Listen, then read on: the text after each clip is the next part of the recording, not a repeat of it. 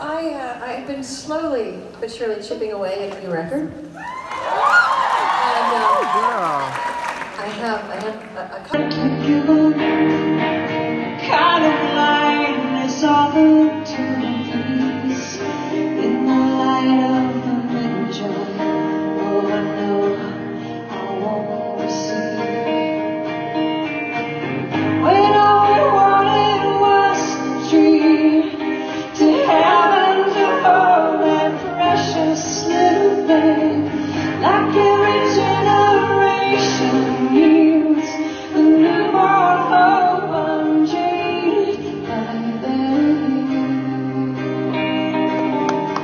Yeah.